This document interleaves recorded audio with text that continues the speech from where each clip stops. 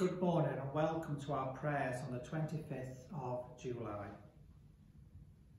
God of peace, whose Son Jesus Christ returned from the dead to become the great shepherd of our sheep, guide us in the ways of peace and mercy.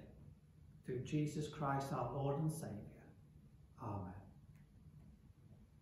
Now we hear from the 89th Psalm, reading from verse 20.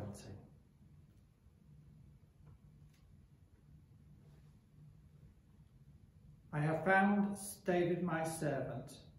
With my sacred oil I have anointed him. My hand will sustain him. Surely my arm will strengthen him. No enemy will subject him to tribute. No wicked man will oppress him. I will crush his foes before him and strike down his adversaries. My faithful love will be with him, and through my name his horn will be exalted. I will set his hand over the sea, his right hand over the rivers. He will call to me, You are my Father, my God, the rock, my Saviour. I will also appoint him my firstborn, the most exalted of the King of the earth. I will maintain my love to him forever, and my covenant with him will never fail. I will establish his line forever his throne as long as the heavens endure.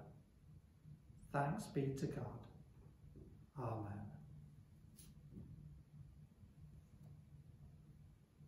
Now we hear from the Gospels. Chapter 6, from verse 35. By this time it was late in the day, so his disciples came to him this is a remote place, they said, and it's also very late. Send the people away so they can go into the surrounding countryside and villages and buy themselves something to eat. He answered, You give them something to eat. They said to them, That would take eight months of a man's wage. Are we to go and spend that much on bread and give it to them to eat? How many loaves do you have? He asked. Go and see. When they found out, they said, Five and two fish. Then Jesus directed them to all the people to sit down in groups on the green grass. So they sat down in groups of fifties and hundreds. Taking the five uh, loaves and the two fish, looking up to heaven, he gave thanks and broke the loaves. Then he gave it to the disciples and set it before the people. He also divided the two fish amongst them all. They were all ate and satisfied. The disciples picked up twelve basketfuls of broken pieces of fish and bread. The number of men who had eaten was five thousand. Thanks be to God. Amen.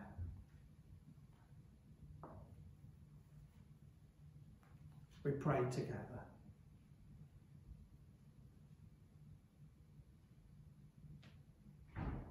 Lord, we pray for all those who work to help people in crisis.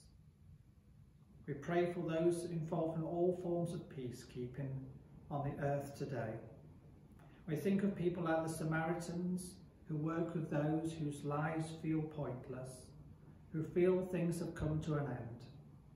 We pray for all those who work in pastoral care, in marriage guidance, for all those who counsel people through times of crisis and uncertainty especially when mental health starts to fail and the world seems to crowd in.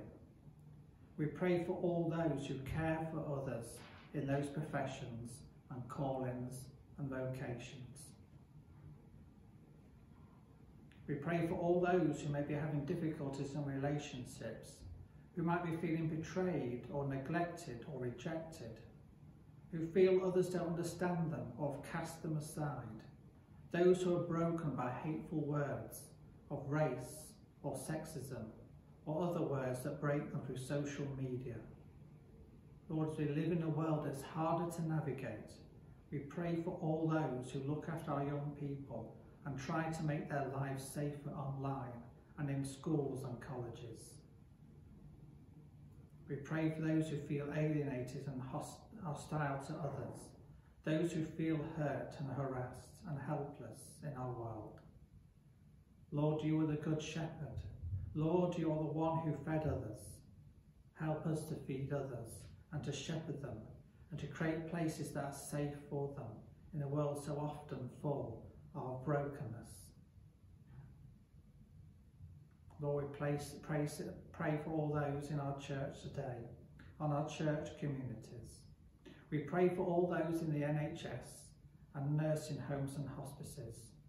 We pray for all those in those caring environments, those who visit people in their homes, district nurses, and those who go house to house caring for people, making sure they're okay and fed and watered and safe in their homes.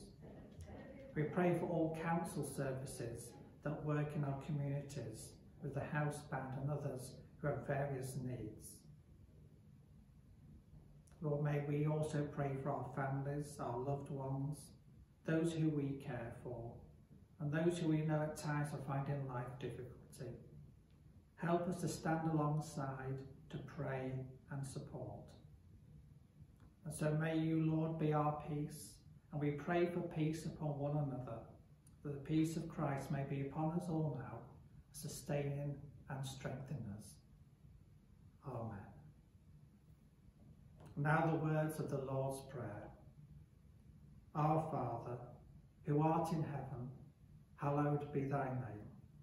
Thy kingdom come, thy will be done on earth as it is in heaven.